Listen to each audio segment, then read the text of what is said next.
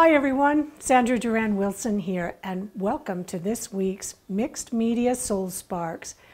Every week I bring you some different ideas for painting and mixed media techniques, inspirational exercises, and studio tips. So thanks for joining me this week. And today I want to share with you some framing tips. And this was a suggestion that was left in the comments from YouTube.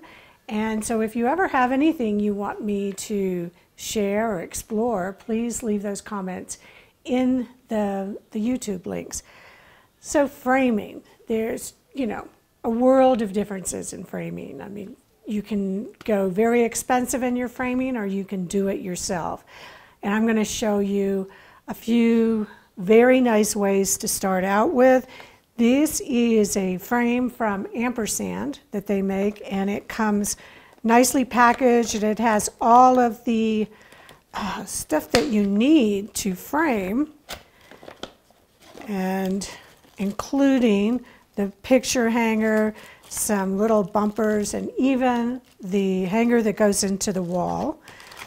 It comes with all these instructions, but the reason I really like this is because this is a dual purpose piece. I can use this to frame a three quarter inch, or I think it says up to seven eighths of an inch deep. I don't have an eight by 10 that size, but you can, let me just show you. This is the perfect depth to go into this frame, and it is a little less than an inch.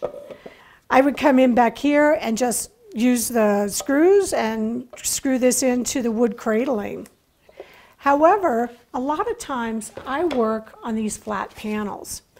And the reason I like these is because it comes with these little pieces of wood that I can use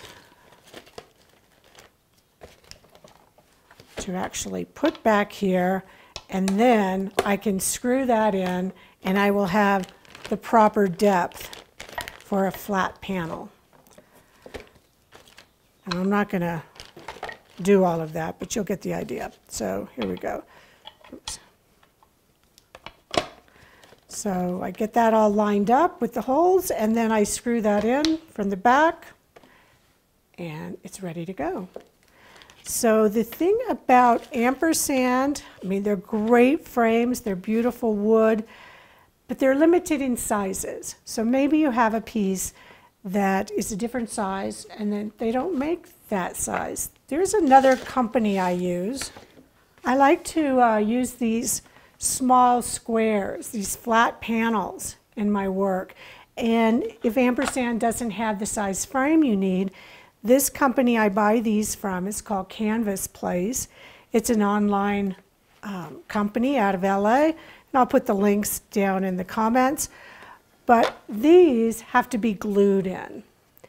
And the only disadvantage of that is that you can't take it out and change frames if somebody wants a different color. However, they do make frames in white, a natural, I think a dark brown, and the black. This is the adhesive that I use to glue my pieces in. It's E6000. And what I do you can see this is my tube that I've been using. And I just run a bead of glue along here. And then I pop this in. I turn it upside down because that glue is very fluid. And I probably put like, um, you know, I put something underneath. Put some foam here to protect my painting. And then I'll put a book on top to weight this. I always come back after a couple minutes. I want to check and I want to make sure that this is lined up properly. Then I go back, I put it back, I weight it, and I usually leave it overnight because this glue kind of stinks. So I try and do it in a well ventilated area or a space where you can close the door and, and not be in the room with it. And then I would just put my hangers on here. I usually use a little uh, D-ring hanger but if you like to use those little uh, saw, what they call sawtooth hangers, you can use those too. So that's another way. Now this is also a frame by Canvas Place. and they just started making the frames for flat panels maybe a couple of years ago. And before, they were only made for like this three quarter inch deep. But they're really made for stretched canvases. And the stretched canvases have a much deeper cradle back there. So even with these, I find I have to glue these. I would do the same thing. I would put the glue, actually I like to put the glue on the inside edge of the frame. Then I put the piece in, and then I do the same thing as I did before. This is a, a frame called Illusions frame. I think it comes from Blick, which is an online retailer. Now this is a really deep one, and I want to show you what I mean by the stretch canvas.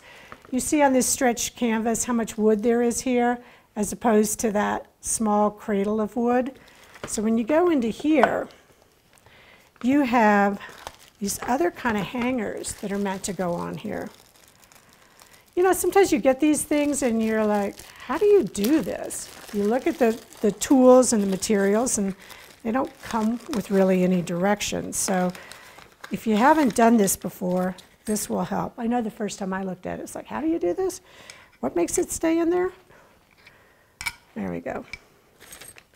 So these little things, you see how they're even two different lengths.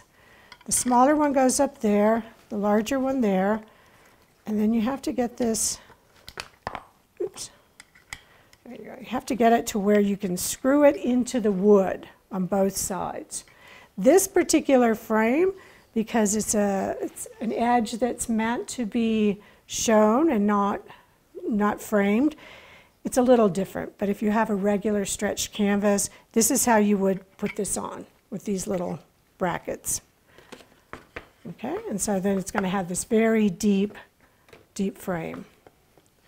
All right, so those are all frames that you buy. But what if you don't want to buy a frame? Or what if you have something that's a really odd shape? What do you do then? This is what I like to do. So this is just a piece of plywood. Here's my painting. And then these are just some pieces of leftover wood. I have painted the plywood with black gesso. It's just one coat on here. You could probably do two coats. Make sure you go in around the edges. And on the plywood, you know, when you cut it, it's kind of got that raw edge. Sometimes I'll go in with a paste or a gel and I'll kind of fill that in. But if it doesn't really bother you, just put another coat of paint. Let this dry, and then you take your leftover wood. If you've got a bigger piece, you know, you could use strips like this, depending on how you want the piece raised above the back. I'm just going to use these two. I would use the same glue, the E6000. I would weight these, let them dry overnight. Then I'm going to come back in and I'm going to mount the painting onto the surface. I would use uh, protective foam over here and then put some weight on it, maybe a book or something, heavy book. So then once that's all dry, you know, you can put, just put your hangers on the back, wherever you want it. Now here's one other idea. And I like to paint the edges of these flat panels. And I like to paint them black. Use, you know, just some black gesso or black paint. You can use a brush or a cosmetic sponge to paint that so it looks a little more finished. Then, let's say I, I didn't want to um, put it on a frame, but I didn't want it to like sit against the wall. I could just take these pieces glue them directly onto the back and either hang it from there or put a wire on it. But when it sits on the wall, it's going to be raised away from the wall. So this is probably the simplest way to use these flat panels to hang something. So I hope you found some good ideas for your artwork.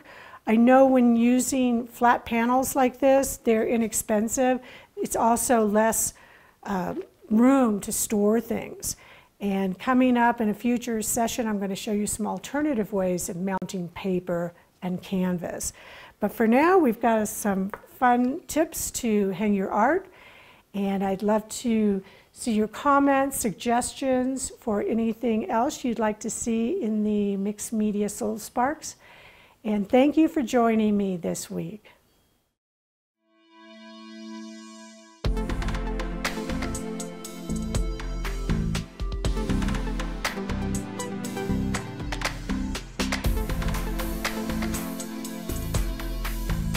Join the community and share your creations on social.